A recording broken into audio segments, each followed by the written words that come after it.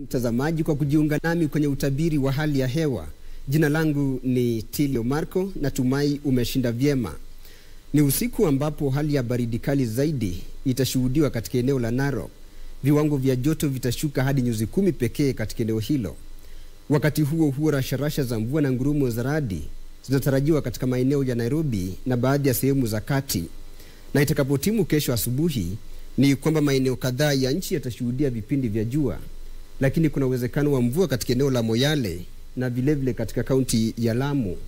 Itakapotimu majira ya alasiri ni kwamba maeneo mengi ya nchi yataendelea kuwa na vipindi vya jua, lakini rasharasha za mvua na ngurumo za radi zinatarajiwa katika maeneo ya Kitale, Kisii, Nakuru na vilevile vile eneo la Lodwa. Tukiangazia viwango vya joto, mtazamaji, ni kwamba joto litashuka kidogo katika kaunti ya Mandera na kufikia nyuzi 36. Kaunti ya Garissa itanakili kati ya nyuzi 36 na 24. Kaunti ya Nairobi itanakili kati ya nyuzi 28 na 14.